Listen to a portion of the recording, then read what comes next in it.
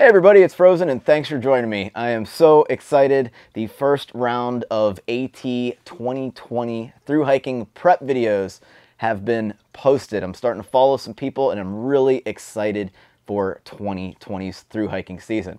It's like hockey. I'm a big hockey fan as you can probably tell behind me and I just love, you know, following the prep to the through hike to the post trail videos about what worked and what didn't.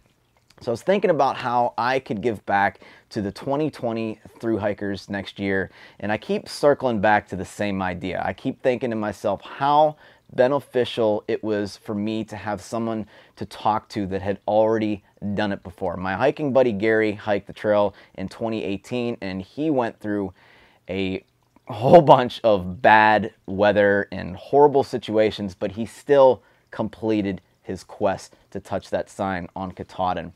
And it was really helpful and beneficial to me just to have someone that's been through the elements, been through the towns that I was going to, and to ask questions about things that you really don't think about. A lot of conversations between me and him brought up things that I hadn't even thought about. So, what I'd like to do this year is help three AT 2020 through hikers have that open communication, give them direct access to me via Google Hangouts. We can text, we can chat, we can voice, we can even do a face to face via video conferencing through Google Hangouts. And I will be happy to answer any kind of questions or kind of comfort your fears or whatever you're thinking about. Just kind of have someone to bounce ideas off of, which is what Gary did for me. So on top of this, I figured while I am opening the communication line to a few through hikers from 2020, I would also turn this into kind of like a series. I would kind of do what Early Riser and Ramdino Roaming the Trail did last year. Uh, Early Riser actually did it two years ago, but what Ramdino did was he took a whole bunch of through hikers. I think he had like 110 after all was said and done.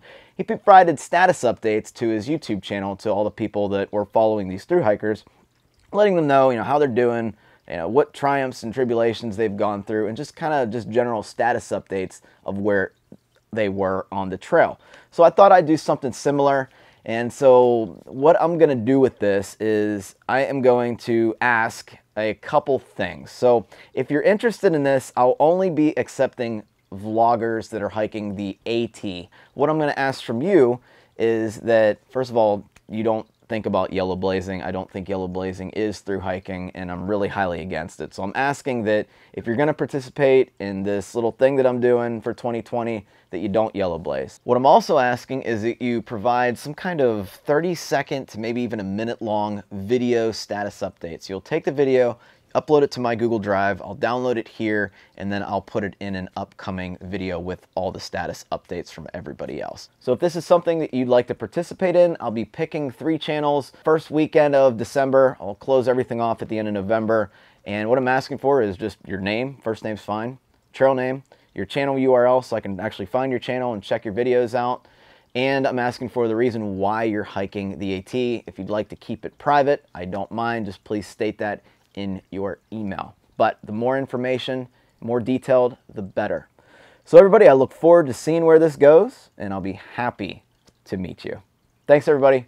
I'll see you on the trail.